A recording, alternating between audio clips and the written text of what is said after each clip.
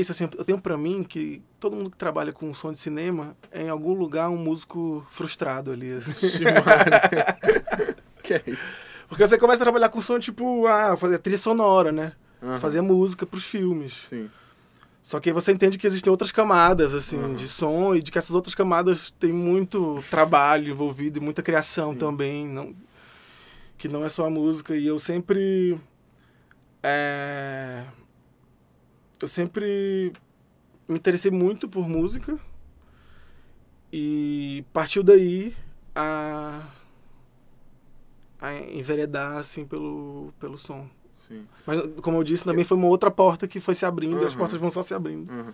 Não, eu, eu, eu tenho muitas histórias, né? Sobre como, como as pessoas chegam ao som. Inclusive, é, não sei se você sabe disso, que a primeira pessoa que fez, pelo menos que eu, que eu saiba, né? A primeira pessoa que fez som direto com Nagra no Uhum. Brasil foi o Arnaldo Jabor. É, e ele fez porque ninguém mais queria fazer. Aí, aquele maioria absoluta, que é um curta. Sim. E aí ele fez, foi o primeiro curta feito com o Nagra, e, e aí ele, ele, ele falou assim, nunca mais vou fazer isso, eu nunca mais fez som. Mas pra mim isso era muito legal, assim, porque isso, E- na faculdade o pessoal falava, ah, porque ninguém quer fazer som, Aham, e ninguém, tipo, ah, tem muita carência de profissionais no, Sim, no sim, som. sim. E é verdade, e, e ninguém quer fazer, mas pra mim era muito divertido. E, e não, é porque assim, na verdade, assim, como audiófilo, eu penso que não é só você fazer som direto, edição, é, mixagem, equalização, enfim, o que for. Você entender de, de, de estrutura de canais, de exibição. Isso é uma consequência. Eu acho que uma das coisas interessantes é porque, assim, é, existe uma frase que eu acho que é bem demagógica, né, do, do Steven Spielberg, que ele fala assim que é, o filme ele é 50% o som.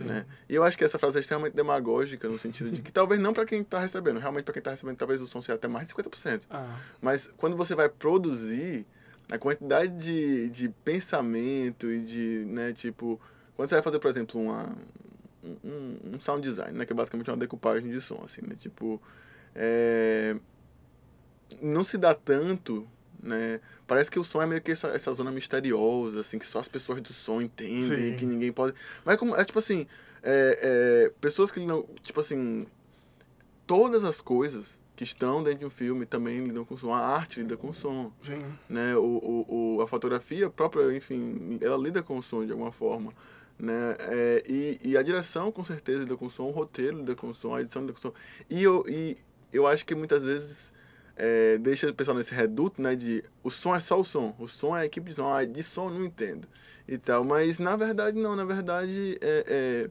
as pessoas deveriam entender é, o som de um ponto de partida, um filme, perdão, de um ponto de partida sonoro também.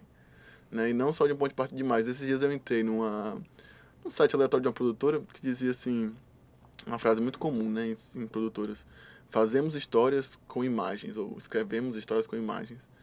E eu pensei, pô, isso aí vale para fotografia, mas você não escreve só com imagem. Você escreve Sim. com som também. Você escreve com outras coisas, né? Com, com elementos que não são só da Uhum. visão, né?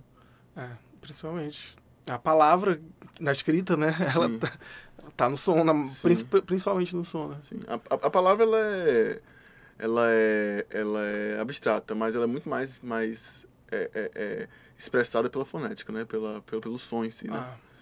É, Mas é porque eu acho que o som tá mesmo nesse campo meio misterioso, assim, né? Porque Uhum. ele é imaterial, assim, a materialidade ele, ele é dele. invisível. Ele é tipo, invisível e os processos é, de trabalho com som, de captura, de edição, de mixagem, eles, eles têm mesmo seu, suas complexidades, assim, e... eu, eu até digo que é a área mais exata do, do Ah. cinema, porque às vezes tem fórmulas, você Sim. entender que decibel é logarítmico, não é linear, É, é uma som- coisinha ou outra, mas mas tudo isso se expressa criativamente também. É, assim. pois é, mas isso é só um aspecto, um aspecto que pra mim também não é o mais interessante, assim. Sim, claro. Pra mim é pra onde é, as coisas apontam mesmo, assim, o que é que o que é que as coisas estão dizendo, o que é que as coisas estão querendo nos dizer, o que é que as coisas fazem vibrar na gente, Uhum. é, que também entram nesse campo mais misterioso e espiritual da coisa. É, mas é importante muito saber da, de uma- dessa materialidade mesmo do, do som no set, assim. Uhum. É isso, assim, a importância de se fazer é um silêncio para capturar o som ambiente depois de um take, assim. Essa, essa é uma responsabilidade que todo mundo deve ter, assim, né? Sim. De entender por que, que ele tá fazendo, por que, que o técnico tá fazendo isso, Uhum. onde é que isso vai ser usado, como vai ser usado. Uhum.